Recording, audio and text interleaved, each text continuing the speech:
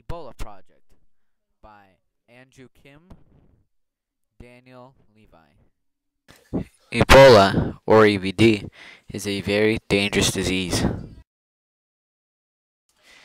Ebola is usually transmitted from animals to humans.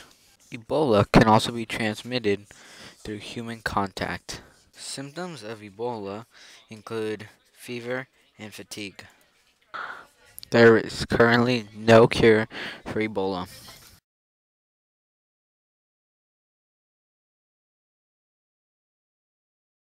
The first recorded outbreak of Ebola happened in Zaire. Similar cases happened in Sudan and England. Similar cases happened in 1979 in the same area as the previous outbreak in Sudan. 2000 to 2001, the disease spread in Uganda due to the fact that there is no proper way to handle the situation.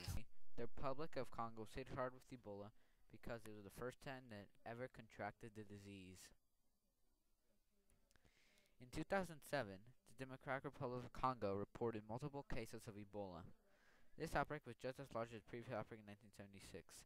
In 2012, the Ebola started in West Africa, then spread to other countries outside of Africa. Infected people don't become contagious until they develop the symptoms. In August of 2014, a priest in Spain was diagnosed with Ebola. In October 2014, a person was diagnosed with Ebola inside the United States of America.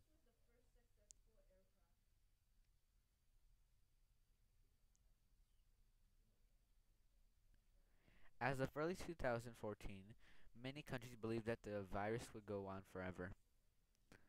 Symptoms of Ebola are treated as they appear. The following are used to cure patients with Ebola, treating infections and maintaining oxygen and blood pressure. Experimental vaccines and treatments for Ebola are under development.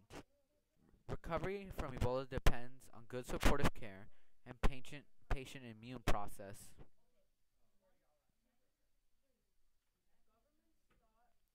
People who recover from Ebola take about 10 years to recover.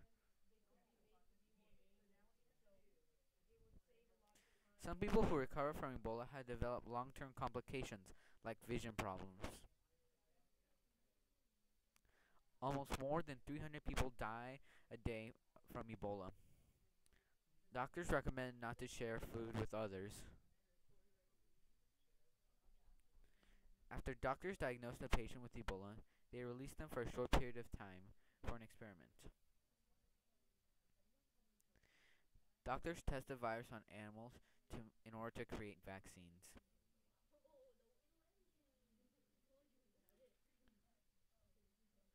Precaution can help from getting Ebola are wash your hands frequently, avoid contact with infected people.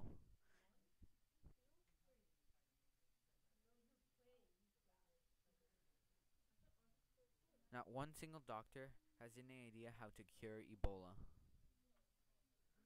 When people are diagnosed with Ebola, they are put in special tents.